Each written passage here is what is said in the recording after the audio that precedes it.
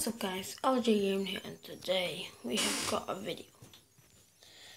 His on par director have made his WWE news.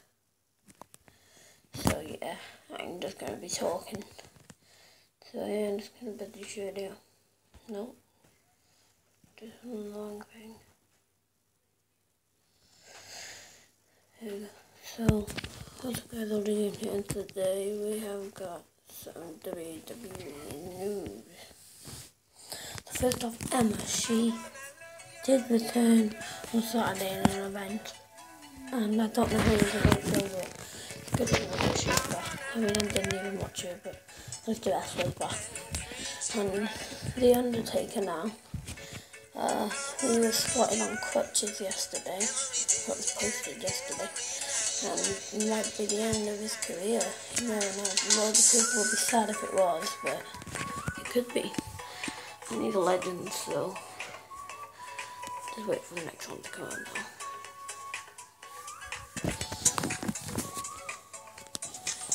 And now Mickie James, she will make her um, return at NXT TakeOver against Asuka.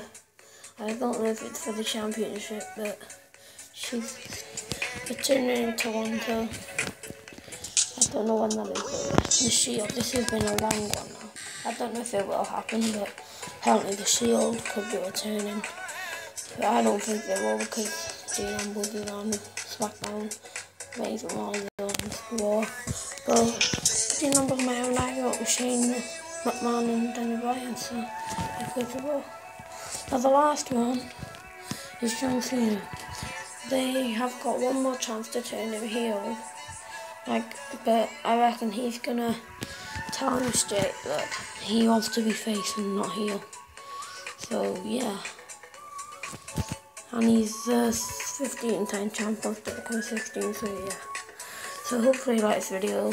Don't forget to like, subscribe, comment, and yeah, peace. But I'll wait a minute. I need to pause this and a out to Callum. CFC Game on. So yeah, peace.